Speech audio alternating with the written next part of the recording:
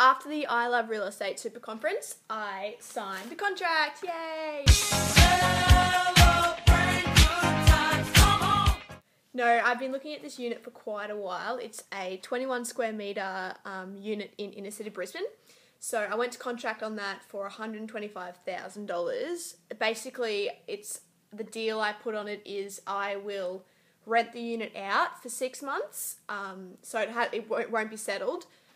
So I'll rent it out for six months. Um, during this time, I can do any renovations, any works. I can get anyone through that I want. Um, I'll pay rent to the owner, and then at the end of the six months, we'll settle on it for one hundred twenty-five thousand dollars. My vision for this unit is to utilise the smaller, smarter homes um, fit outs and ideas that Kevin's got with his group.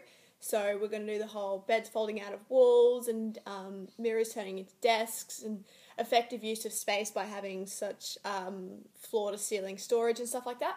So with the help of Kevin, he um, organised some contractors that he normally uses to do all this kind of stuff to come through the unit. So they went through this week. Um, the quote on that was $32,000, which is way too expensive for what I can do.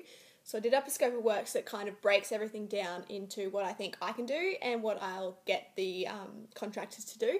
So hopefully that'll reduce the price a little bit. So I'm going to take this to Dad, who used to be an ex builder, who used to be a builder, sorry. So he's going to go through and kind of see what's really feasible and hopefully help me out with that for free. So here goes. Dad, What? do you want to go through my scope of works and have a look at what we can do, slash you can do?